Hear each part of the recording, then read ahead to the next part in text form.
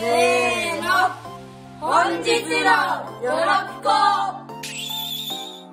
コロナに負けないプレイボールよろしくここ今に当て上がっててそれも場所がね当たる部位がちょっとね上の方だと思うそうですね絶対大変ですよね。大変ですよ面白いですよね。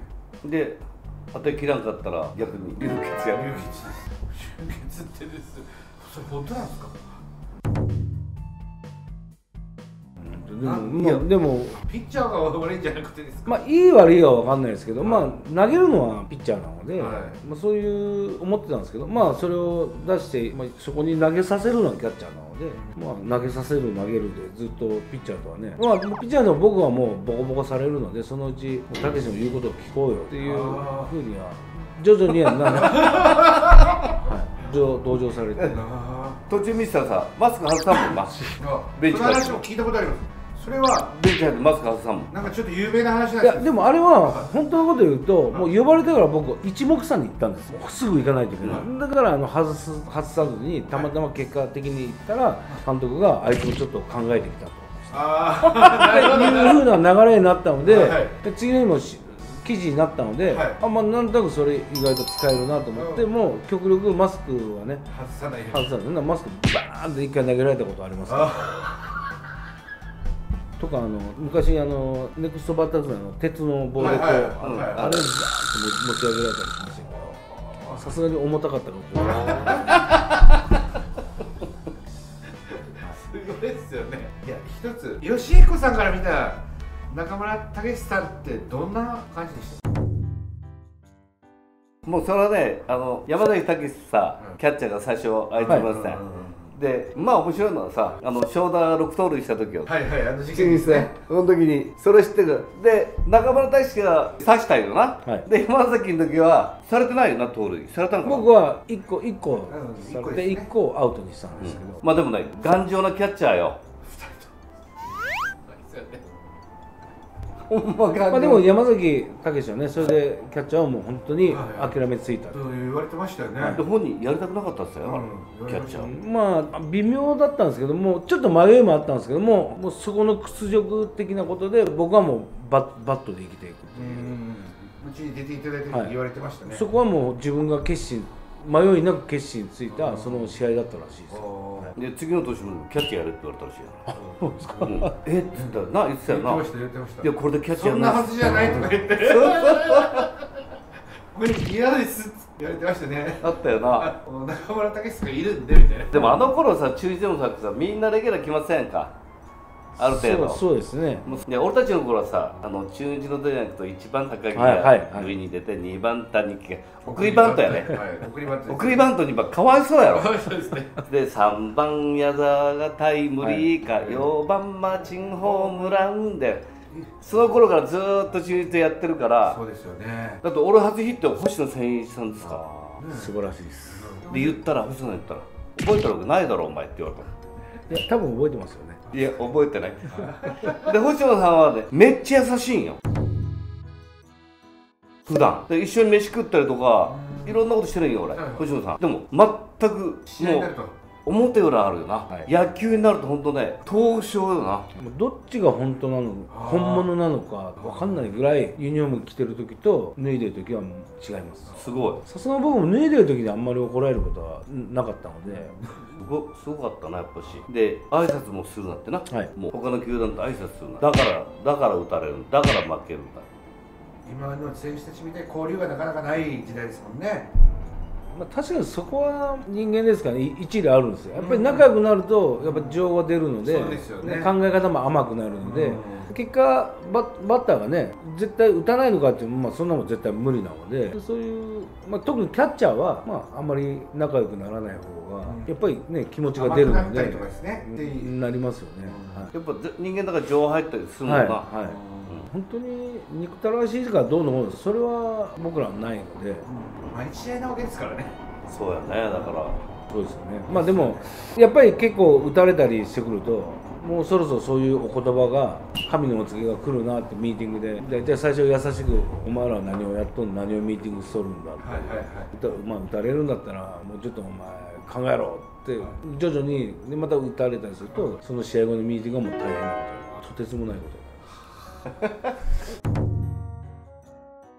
で意外となんか本当数字だけで言うと高橋さんはむちゃくちゃまあ3割ちょっとは打たれてるんですけど、なんか4割も5割も打たれてるイメージがあるんですけど意外とこう数字見るとあ3割23分なんだ、はいはいはい。そこまで行ってないんですよ、まあ、でもイメージがはいはい。だからやっぱりいいとこで打たれたり、あ打ち取ったっていうのがやっぱり全部ヒットになるので、感覚的にはもうものすごくというのというというよりもどうやって抑えていいのっていうミスそうだよなミスを待つしかないので、うんミスがミスじゃないので。そうそう。フライ打ち上げてって形だもんな。でも一番ダメなのはフォアボールなんですよ。でやっちゃいけないのはフォアボールなんですよ。ここはもう頭に入って分かってるんですよ。足もあるし。まだ打たれてね得点された方がまだいいんですけど。まずやっちゃいけないのはフォアボールなので。でホームランを打たれても1点で済んで考えることがねな残るとはい。どう走られるかなないろんなことを考えるキャッチャー心理としてど。うでしたか本当吉彦さん正田さん山崎隆三さんがランナーいるとうんだからまあ結果で、まあ、どこのチームもやっぱりきついんですけど、まあ、当時巨人も強かったんですけどどっちかというと長長打で来る方なので、でも試合後の疲れはやっぱり広島の方がものすごくすわーっとしますよね。もう巨人はもうねあの当時は打ち勝たないともう勝てないチームだったのでそんなに、まあ、考えることは広島の半分以以下ですよね。名古屋球場も悪い。んやつ知ってた。名古屋球場名古屋球場悪い。あそうですあそこだけない。盗塁したら送金が出るあ。そういうのがあったんですね。吉彦さんたちからしたら。5000円出るんやあそこ。大きいですよね。あー。でかいやん。でかいですね。名古屋球場だけない。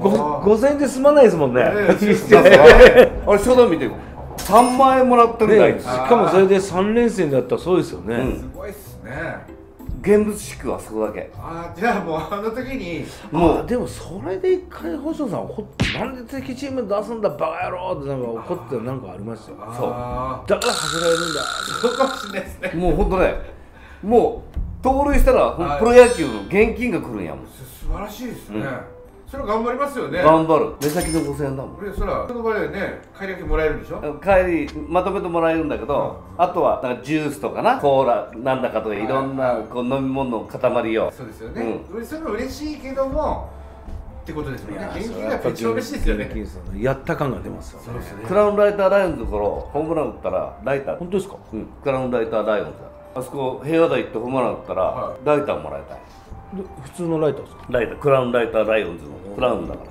100円ライターみたい違う違うライター普通のこう立派な、うん。へそういう時代。だから名古屋球場も悪いわけよだから星野さんは今度分かるよね。相手チームに5000払いながら走られていや5000円昔、まあ、今でこそささ、まあ、3投っていうのはね、はい。見るがさ少なくなってますけど、はい。昔はもう普通に盗塁、盗塁、はい。内野ゴロ1点ですからね、ですよねもうどうしようもなくて点取られます5000円1万円。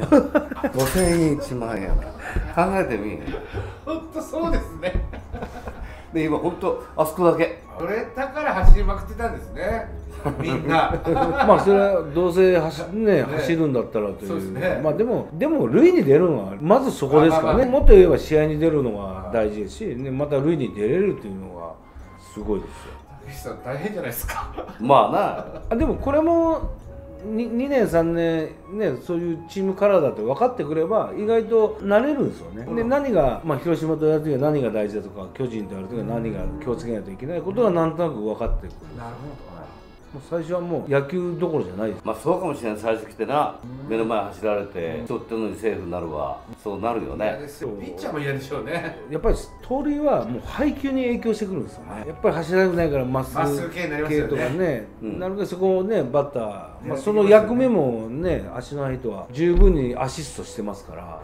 でも完全に出来上がったチームとやってるからかわいそうよねあーまあそうですね、うまだ若い頃ですね。そいやでもあの時代でやれたからこんな自分でもちょっとは。長くやっぱり名星でやられてますからね。でももう本当に高橋さんとか引退さそれ以降はまあいても一人ですよね。走ってくるの各チーム。あそうですよね。はい。3人スイッチヒッターがいて3人走もうってくるってそないでうですすよね。よね1から3あともう一人4人ぐらい。まあみんな速いですけどまあ普通に走る4人ぐらいいましたからね。う性格するとバラバラでね。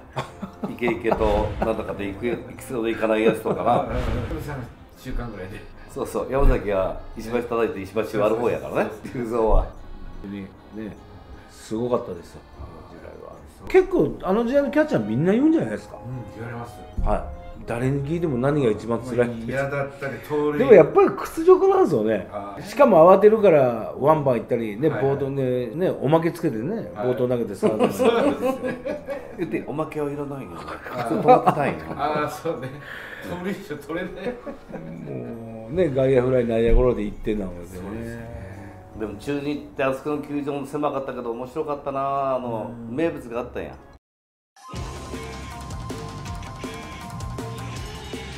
小松さんの球を受けられてたはい。もうちょっと終わ終わりかけの全盛期じゃないですけどはいはい。全盛期は中尾さん僕らはでも高原さん、まあ、怖い怖いって噂ばっかりなんで、はいはい。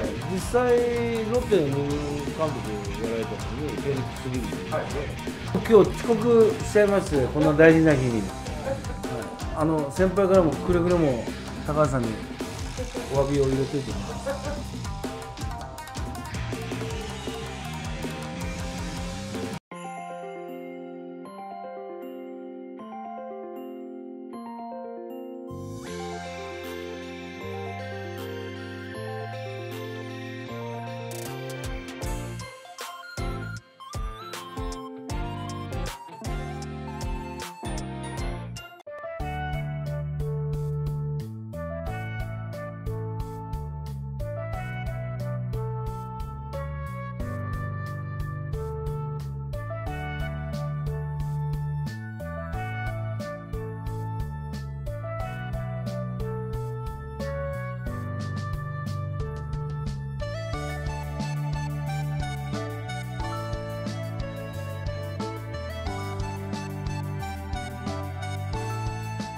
本日もご視聴ありがとうございました、えー、チャンネル登録といいねをよろしくお願いします。それではゲームセット。次回もよろぴこ